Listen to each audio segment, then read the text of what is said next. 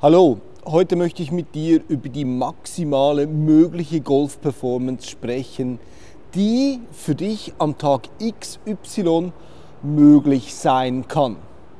Jetzt in erster Linie, was brauchst du dazu? Die Scorekarte, die kannst du eigentlich vergessen.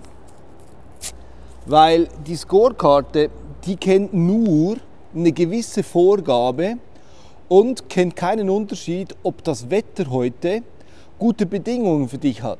Das heißt, windet es? Ist es warm genug? Sind die Bedingungen optimal, dass der Ball auch weit genug fliegen kann? Weil der Golfball, das ist das nächste, das ist auch ein Performance-Lieferant. Und der braucht mindestens Zimmertemperaturen, damit er auf seine Touren kommt, damit er auch die Distanz, die er fliegen könnte, fliegen kann. Jetzt, wenn es zu warm wird oder zu kalt, dann geht er nicht mehr optimal weg von der Schlagfläche und du wirst deine Länge nicht erreichen können. Wenn der Golfball dann noch Gegenwind bekommt, dann ist, wenn die Temperaturen nicht stimmen, doppelt so schwer, weil so kann er nicht mehr fliegen und du kommst eigentlich gar nicht auf diese Länge, die du haben könntest. Gut, das nächste ist natürlich auch der Golfplatz. Wenn du auf einem Golfplatz spielen gehst, dann müssten die Bedingungen so optimal oder so perfekt wie möglich sein, damit, wenn du an den Ball kommst, die Fairwaylänge zum Beispiel nicht zu lange ist und zwischen der Schlagfläche und deinem Golfball zu viel Gras sich einklemmen würde, weil dann stimmt die Spinrate nicht mehr und der Ballkontakt und die Energie kann nicht mehr richtig übertragen werden auf den Golfball. Also die Fairway-Schnitthöhe, das Semiraff, ist es zum Beispiel dort noch spielbar oder nicht? Ist es wie auf der Tour 10 äh, bis 12 cm hoch, dann wird es ziemlich schwierig mit dem Golfschläger da durch das Semiraff zu kommen. Dann wie sind die Raffbedingungen? Ist der Ball dort noch spielbar oder nicht? Wir haben hier in der Schweiz zum Beispiel eine gewisse Zeit, wo das Gras wachsen gelassen werden muss. Und dann ab dem 15. Juni dürfen die Bauern das hohe Gras abschneiden und von da an ist es wieder möglich eigentlich zu scoren, wenn Golfbälle links oder rechts von der Bahn enden, weil man dann die Bälle wieder findet und von da wunderbar in der Regel weiterspielen kann. Und auch die Grünbedingungen, wie sind diese dort? Also ist das Grün äh, spurtreu. Es muss nicht unbedingt schnell sein, sondern wichtig für uns Golfspieler, Profispieler ist, dass die, die Oberfläche spurtreu ist, dass der Golfball genau da durchrollt, wo er durchrollen sollte, aufgrund von dem, was man sieht, und er nicht dahin hoppelt, weil das Hoppeln ja dann äh, in unterschiedliche Richtungen gehen kann. Also ist die Oberfläche, die grüne Oberfläche optimal zum Spielen.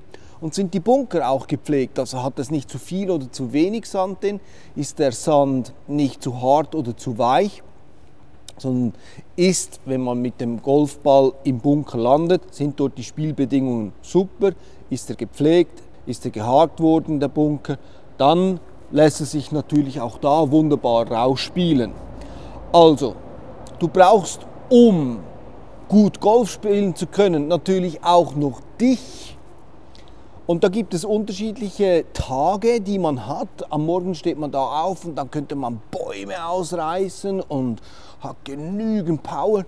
Und da gibt es Tage, da steht man auf und dann ist man müde, man weiß nicht warum, man hat zwar äh, oder ist früh ins Bett gegangen, konnte aber nicht richtig schlafen und heute ist ein wichtiges Turnier und ah, Tja, das ist eigentlich der Grund, warum Leute im Durchschnitt 80 Prozent ihres Handicaps spielen. Also, das ist die Leistung, die du hast. Sagen wir, du hast Handicap 18 und jetzt 80 Prozent davon, das heißt, du spielst etwas darüber, du spielst vielleicht so in in der 22. Und das ist eigentlich so der Durchschnitt in einem Jahr, das man so erreicht. Weil die anderen 20 Prozent davon, die werden nochmals aufgeteilt in zwei Bereiche.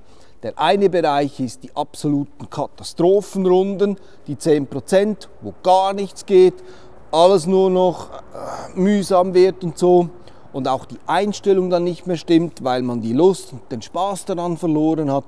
Und dann kommen aber noch die anderen 10%, wo man sein Handicap massiv unterspielt, weil alles super ist, man genügend Power hat, der Golfplatz super war, die Bälle sind geflogen, das Wetter war ideal und man konnte das, was auf der Scorekarte gestanden hat, konnte man auch spielen, weil alles zusammengepasst hat. Jetzt, ich habe noch einen Tipp für dich. Wenn es, wenn du maximale mögliche Golf-Performance erreichen möchtest, dann benutze die Cowboy-Einstellung. Jetzt, was meine ich mit der Cowboy-Einstellung?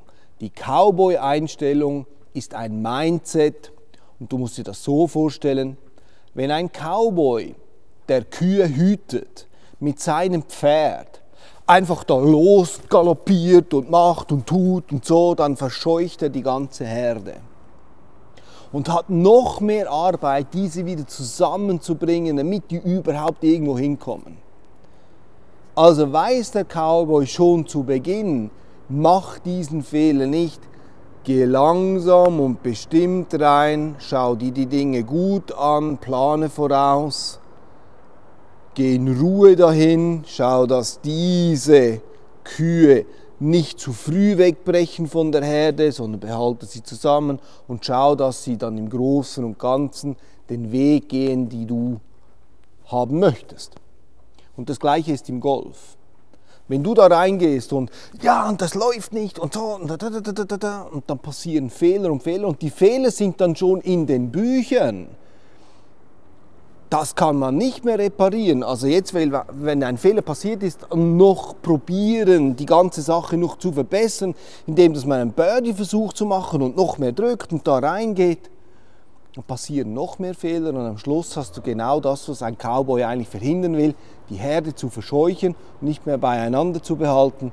Also funktioniere mehr wie ein Cowboy, geh ruhig da rein in das Turnier, überlege dir, was zu tun ist Schau dir dieses Video hier noch an, weil das ist, glaube ich, noch wichtig.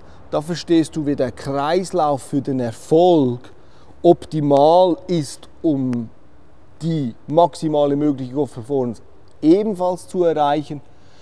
Verbinde diese zwei Elemente, das Video von heute und das, was ich da oben verlinkt habe und behalte dabei die Cowboy-Mentalität, indem dass du hier ruhig reingehst und immer im Sattel bleibst, egal was passiert, ruhig voranreitest und die Herde gemütlich bis ins Loch 18 begleiten kannst, ohne dass dir die Kühe dabei entweichen. So, ein etwas längeres Video heute. Ich hoffe, es hat dir gefallen, was ich dir heute gegeben habe. Als Tipp, jetzt ist ja Saisonstart, vergiss die Scorekarte, arbeite an deinen Bewegungen, dass diese richtig sind.